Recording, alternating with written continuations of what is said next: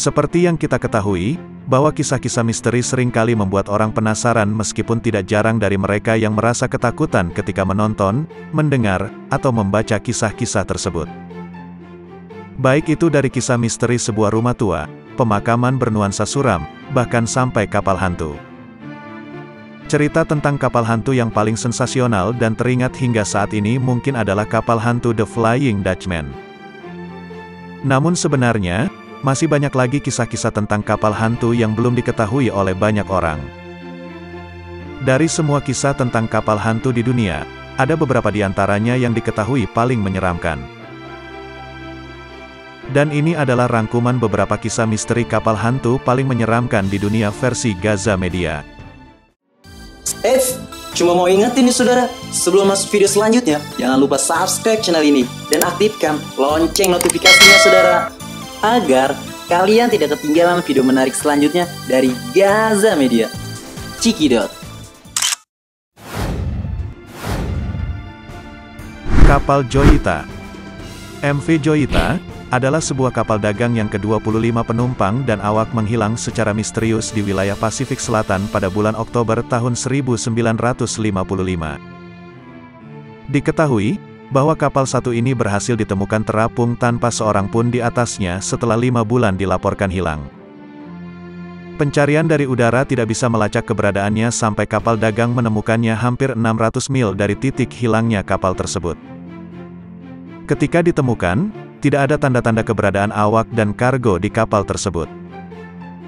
Di kapal itu hanya ditemukan tas dokter dan beberapa perban dengan bekas darah yang ada di geladak. Sementara itu, radio disetel dengan mode sinyal mara bahaya universal. Meskipun begitu, hingga kini masih belum diketahui apa yang sebenarnya terjadi dan ke mana para awak dari kapal tersebut berada. Kapal Baisimo SS Baisimo, adalah sebuah kapal uap kargo seberat 1.322 ton berlapis baja yang dibangun pada tahun 1914 di Swedia dan dimiliki oleh perusahaan Teluk Hudson, serta digunakan untuk memperdagangkan persediaan kulit di pemukiman Inuit di sepanjang pantai Pulau Victoria di wilayah barat Laut Kanada. Diketahui, bahwa kapal ini telah menjadi kisah kapal hantu terkenal di sepanjang pantai Alaska. Kapal Baisimo disebut sebagai kapal hantu yang nyata karena pemiliknya, yaitu Hudson Bay Company, sengaja untuk menelantarkan kapal tersebut. Kapal ini dibuat pada awal 1920-an dan terperangkap di antara es di dekat Alaska pada tahun 1931.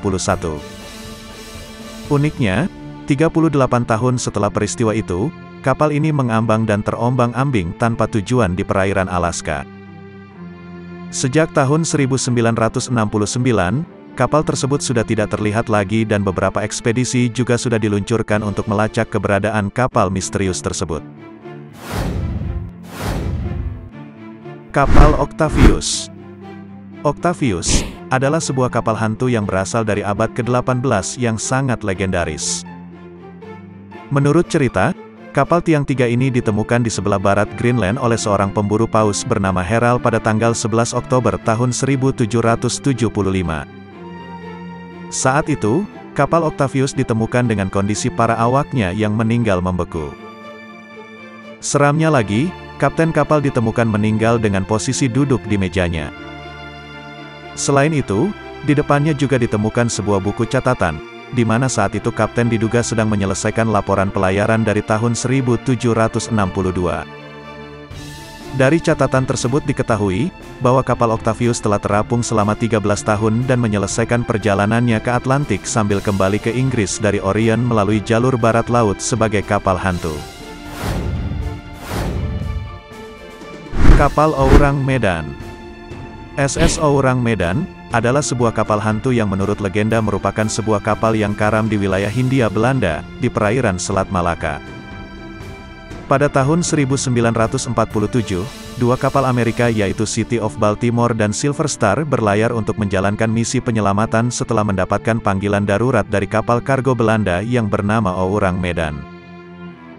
Orang yang melakukan panggilan itu mengaku sebagai awak kapal Orang Medan dan menyampaikan pesan bahwa kapten dan awak kapal lainnya di kapal itu telah meninggal. Penelpon itu juga mengakhiri panggilannya dengan kalimat, aku mati.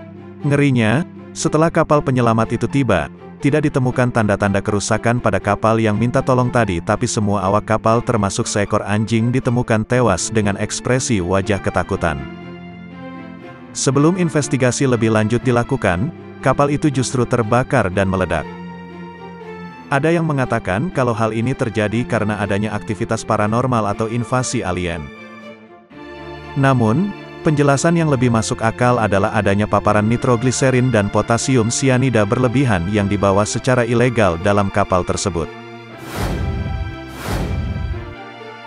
Kapal Valencia Kapal Valencia merupakan sebuah kapal yang tenggelam di perairan Vancouver, British Columbia setelah menghadapi cuaca buruk dekat wilayah Cape Mendocino, sekitar 200 mil dari utara San Francisco. Diketahui, bahwa kecelakaan yang terjadi pada tahun 1906, yang menimpa kapal tersebut menjadikannya sebagai kapal hantu. Saat itu, sebanyak 37 dari 108 orang penumpang berhasil diselamatkan menggunakan skoci, namun salah satunya hilang dan belum bisa ditemukan. Sejak kejadian tersebut, banyak nelayan yang mengatakan bahwa mereka melihat kapal yang dipenuhi oleh tengkorak korban dari tenggelamnya SS Valencia tersebut. The Flying Dutchman The Flying Dutchman adalah kapal hantu legendaris yang menurut legenda tidak pernah bisa berlayar, dan ditakdirkan mengarungi samudera selamanya. Mitos tersebut kemungkinan besar berasal dari abad ke-17, pada zaman keemasan perusahaan Hindia Timur Belanda atau VOC dan kekuatan maritim Belanda. Penampakan yang konon pada abad ke-19 dan ke-20 mengklaim bahwa kapal tersebut bersinar dengan cahaya hantu. Dalam cerita samudera, pemandangan kapal hantu ini merupakan pertanda malapetaka. Kapal yang kemudian dikenal sebagai The Flying Dutchman ini sebenarnya merupakan kapal milik Dutch East India Company. Kala itu kapal ini berlayar dari Belanda ke Hindia Timur dan sebaliknya untuk mengantarkan kain sutra dan rempah-rempah. Suatu hari, kapten kapal itu yang bernama Hendrik van der Decken tengah berlayar kembali menuju Amsterdam. Dirinya ingin kembali dengan cepat dan mengambil rute melewati Cape of Good Hope. Sayangnya, ketika itu terjadi badai dan kapten kapal memutuskan untuk tetap melewatinya. Saat itu, awak kapal mencoba untuk melawan keputusan kapten dengan cara memberontak. Mengetahui hal tersebut, kapten kapal akhirnya membunuh pemimpin dari pemberontak itu dan melemparnya ke laut. Kemudian, Kapten kapal tersebut bersumpah untuk terus berlayar sampai kiamat.